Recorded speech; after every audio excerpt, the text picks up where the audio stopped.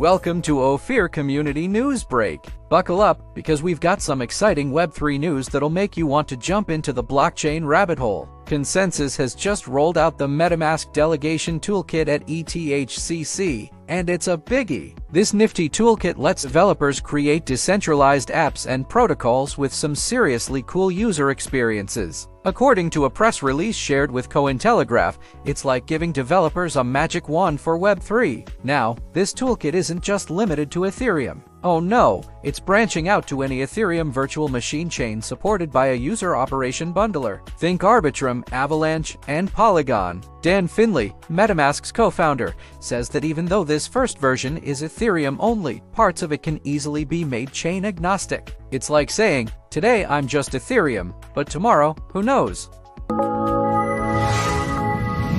And if that's not enough, Consensys just scooped up WalletGuard to make MetaMask even more secure, protecting users from the dark forces of the Web3 world like malicious dApps and scams. It's like adding a guard dog to your digital wallet. That's it for today's update. Make sure to check out our next video on Germany's hide and seek with crypto chaos, Bitcoin, and GPU tokenization. Trust us, you won't want to miss it. Thanks for watching.